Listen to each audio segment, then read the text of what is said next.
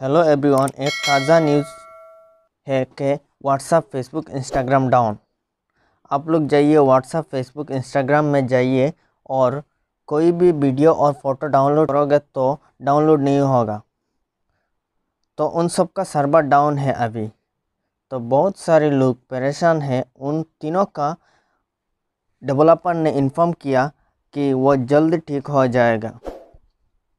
सो so friends कोई भी tension लेने की बात नहीं। वो जल्दी ठीक हो जाएगा। Thank you thank you everyone.